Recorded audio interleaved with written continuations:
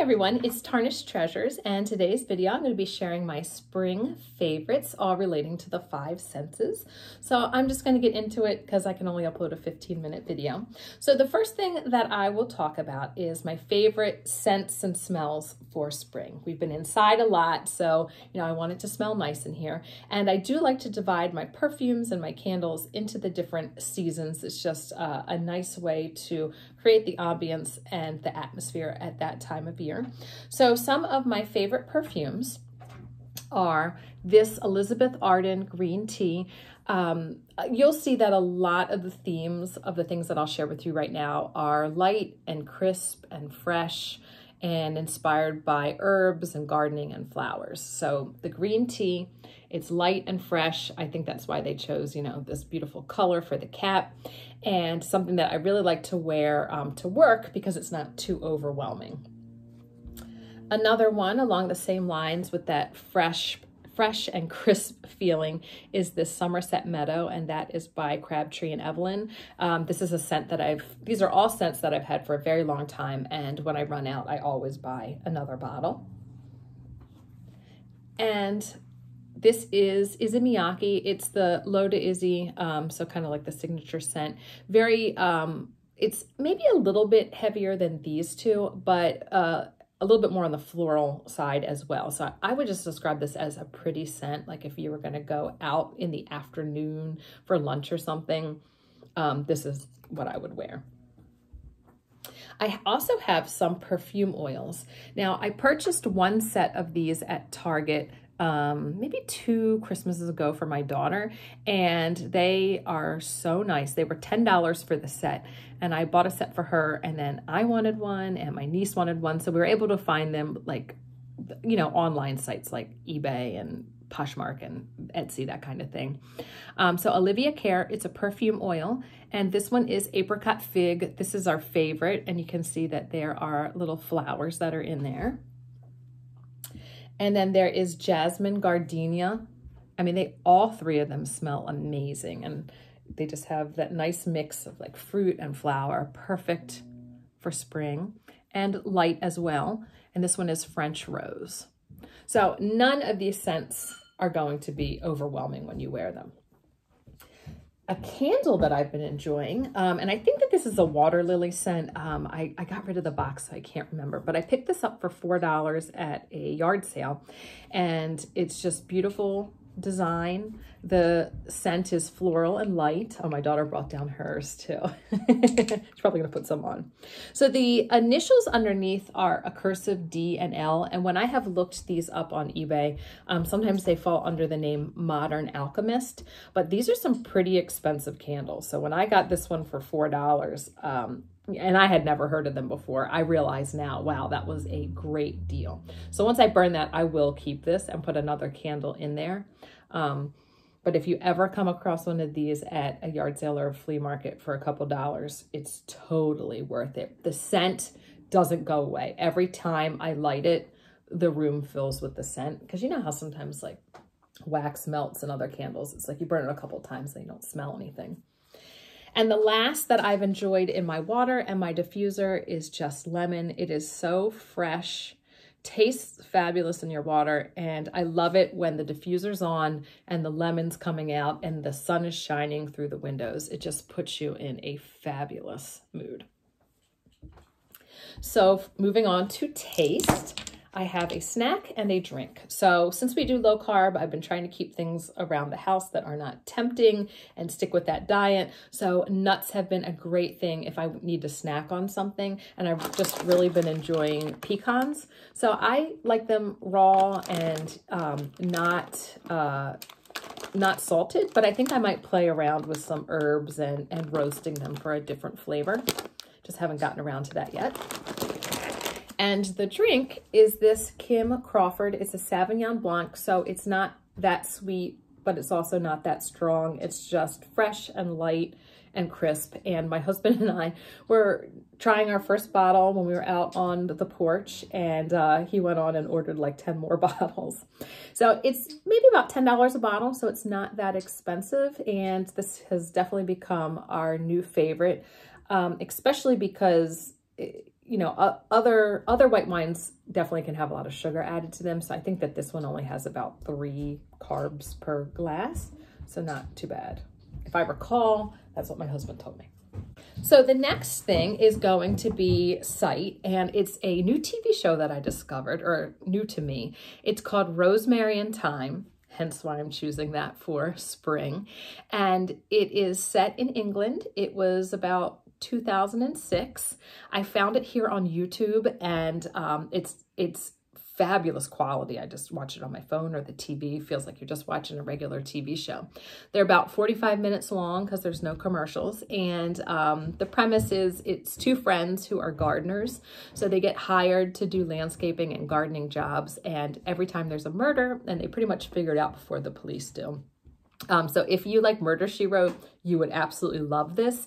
And um, I think because the film quality is better than what we had in the 80s and the 90s when Murder She Wrote uh, happened. Um, it's just beautiful for the eyes, and you get to see the gardens and the cottages of England and the interiors. So I think I'm on my fourth episode, and I'm very excited that there are three seasons. So I have a lot of a lot of shows that I can watch. So I'll link um, whatever I can down below, and I'll insert a little picture so you can see, um, you know, what the actresses look like. So the next is sound, and for that, it is a podcast, and I know probably a lot of you already listened to it. It's called Homemaker Chic. And I'm really enjoying that right now because it is a new podcast and the ladies are really into gardening. Um, so it's very timely. And since they're talking about the garden, I have listened to it while I've been weeding and planting. I've also been listening to it as I've worked inside the house cooking or um, painting rooms. So the last is feel, and uh, that's always a hard category, but I have picked some clothing pieces. So um, back in my winter edition of this video, I was wearing a black shirt and it was the brand Gibson. And I found that on eBay. I think I paid about $15 for it. It just looked like something that would fit me well. And um, when it came, I loved it. It was perfect. So I went online to find a couple more pieces. So this is what the label looks like. Um, it's possibly sold at Nordstrom, so nice brand that can be expensive. I found both of these shirts on eBay with the tag still on for six or seven dollars and then a couple dollars for shipping. So under like $12 to buy these brand new sweatshirts. Um, so I have been loving putting these on with the jeans that I'll share with you to run to the grocery store because that's the only place that I'm going. But it would be a perfect yard sailing, like Saturday morning yard sailing outfit. Just put a t-shirt on underneath and if you got hot, take this off. But that's not happening right now.